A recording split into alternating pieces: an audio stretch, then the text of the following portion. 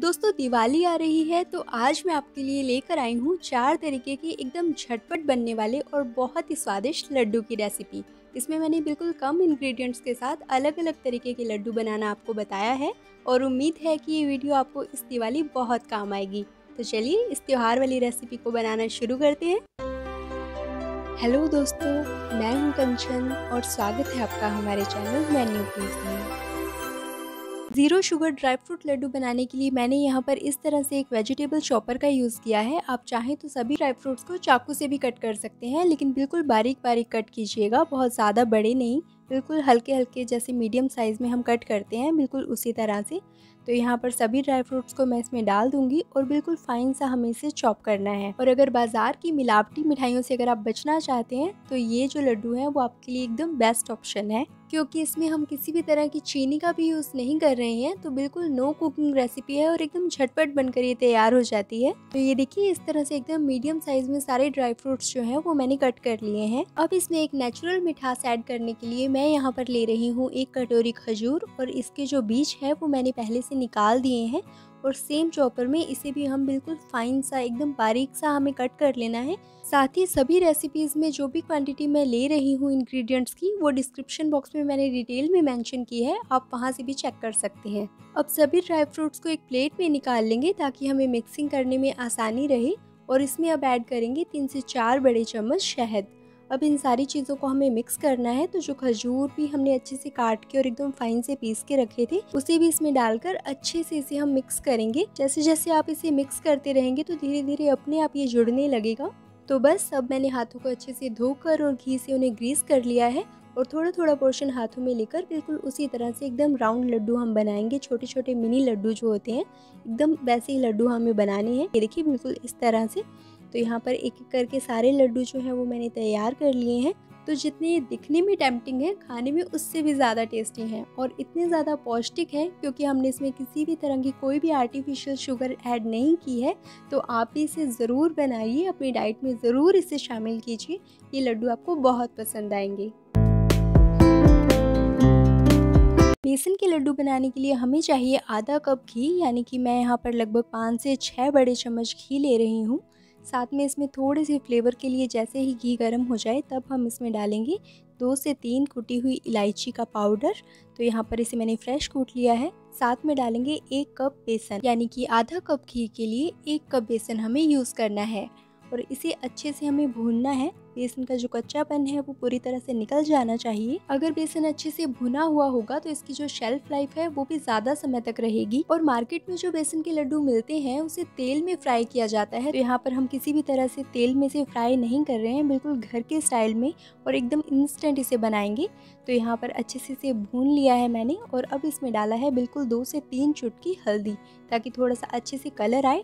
इसे भूनने में मुझे लगभग पाँच से सात मिनट लगे हैं और जैसे ही बेसन की एक बढ़िया खुशबू आने लग जाए और एक बढ़िया सा येलो गोल्डन कलर हमें दिखने लगे, तब हम इसमें डालेंगे आधा कप चीनी। तो यहाँ पर मैं पिसी हुई चीनी का यूज़ कर रही हूँ। आप डायरेक्ट भी यूज़ कर सकते हैं, लेकिन उससे जो है वो बेसन में जो घी है, वो जल्दी ऑब्ज़र्व नहीं करेगी चीनी। इसीलिए तीनों चीज़ों का अच्छे से मिक्स होना बहुत ज़रूरी है, ताकि जब हम लड्डू को बाइंड करें, तब वो अच्छे से बाइंड हो सके।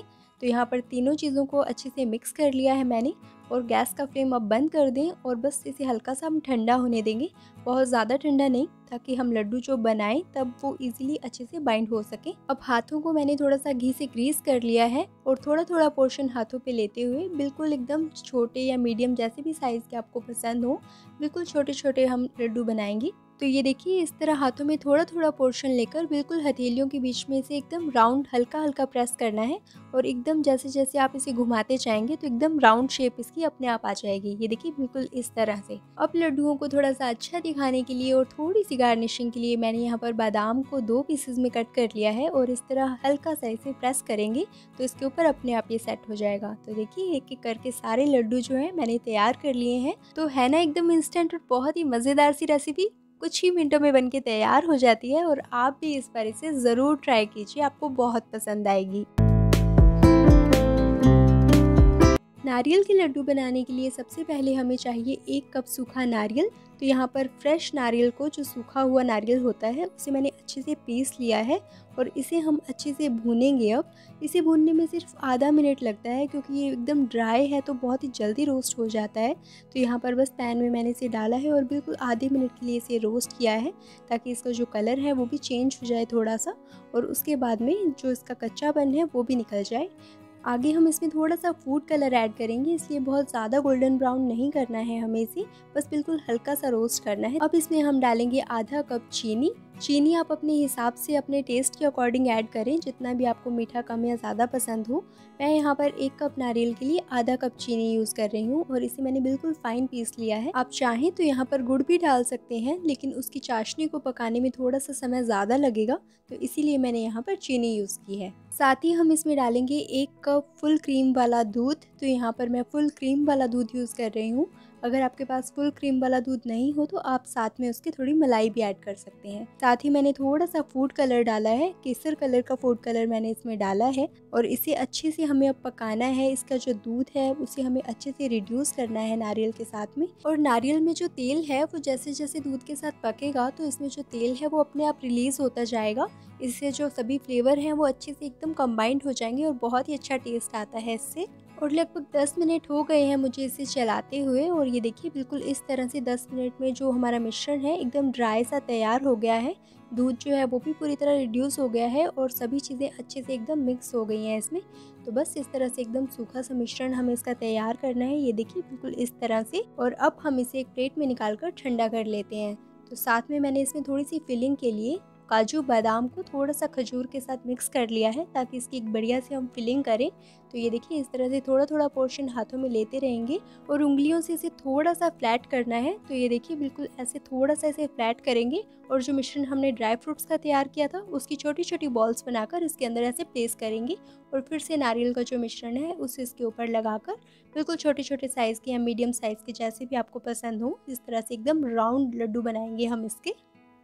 नारियल के लड्डू थोड़े से सॉफ्ट होते हैं तो इस तरह दोनों हाथों में इसे हल्का हल्का प्रेस करते हुए बिल्कुल इस तरह से एकदम गोल लड्डू हम तैयार करेंगे और थोड़ी सी गार्निशिंग के लिए इसको एकदम सूखे नारियल में फिर से हल्का सा कोट कर देंगे, ताकि और भी अच्छा सा लुक आए। और फाइनल फिनिशिंग के लिए मैंने यहाँ पर पिस्ता को छोटे छोटे पीसेस में कट कर लिया है तो इस तरह से एकदम छोटे से पीस को इसके ऊपर इस तरह से प्रेस करके हल्का सा सेट कर देंगे और इसे आधे घंटे के लिए फ्रिज में जमने के लिए रख देंगे। तो ये देखिए, आधे घंटे के बाद ये अच्छे से एकदम से सेट हो गए हैं। आपको कट करके दिखाती हूँ। इससे जो फिलिंग है, वो भी खाने में बहुत ही ज़्यादा टेस्टी लगती है। तो आप भी इन त्योहारों में इसे ज़रूर बनाइए। चलिए अब बनाते हैं एक डिफरेंट फ्लेवर वाले फ्यूजन लड्डू। तो इसके लिए हमें दो पैकेट पार्ले जी बिस्किट चाहिए और साथ में मैंने लिए हैं एक कटोरी रोस्टेड मूंगफली दाना। इसे हमें पीसना है तो यहाँ पर एक ग्राइंडिंग जार में मैंने सारी मूंगफली को और दोनों पैकेट के जो बिस्किट्स हमने लिए थे, सभी को हम डालकर एकदम फाइन सा पीस लेंगे, ताकि इसमें किसी भी तरह के कोई टुकड़े ना बचे। अब इसमें थोड़े से फ्लेवर के लिए और थोड़ी सी मिठास के लिए इसमें मैं डाल रही हूँ आधा चम्मच दालचीनी पाउडर और साथ ही इसमें डालेंगे थोड़ा सा दूध। तो दूध हमें एकदम से इकट्ठा नहीं डालना है थोड़ा थोड़ा करके दूध डालते जाएँगे ताकि इसे अच्छे से बाइंड कर सके। साथ ही में मैं इसमें डाल रही हूँ दो से तीन बड़े चम्मच शहद। क्योंकि हम इसमें कोई आर्टिफिशियल शुगर नहीं ऐड कर रहे हैं। बिस्किट में ऑलरेडी शुगर होती है, इसलिए हम अलग से कोई भी शुगर इसमें नहीं डालेंगे। और अब अच्छे से हम इसे मिक्स करेंगे और थोड़ा थोड़ा दूध इसमें हम डालते जाएँगे। और धीरे धीरे आप देखेंगे कि जो बिस्किट्स है, उसमें भी काफ़ी ऑयल होता है तो धीरे धीरे जब सारी चीज़ें अपने आप आपस में मिलेंगी तो जो ऑयल है वो भी रिलीज़ हो जाएगा बिस्किट्स का। और इसे 10 मिनट के लिए रेस्ट करने के लिए रख देते हैं। तब तक हम अपनी चॉकलेट मेल्ट कर लेते हैं। तो यहाँ पर मैंने 120 ग्राम चॉकलेट को अच्छे से मेल्ट कर लिया है और थोड़ी सी क्रंच के लिए मैं इसमें डाल रही हूँ कटे हुए काजू, बादाम और खरबूजे के बीच। आप अपनी मनपसंद कोई भी ड्राई फ्रूट्स ऐड कर सकते हैं। तो इसे साइड में रख देते हैं और बनाते हैं हमारे पार्ले जी और मूंगफली के लड्डू।